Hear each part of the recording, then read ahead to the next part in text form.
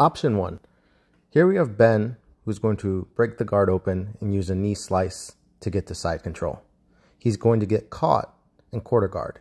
So he's going to back step. As he back steps, she follows him with her knees. He passes over her knees and gets caught in three quarter mount. Here we have Marcus who slice over to side control. He back steps, grabs the knees, hops over, and gets caught in three quarters.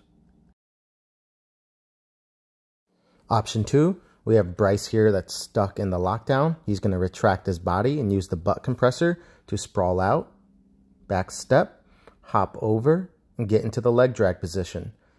He's going to staple the legs and use the dope mount to get on top.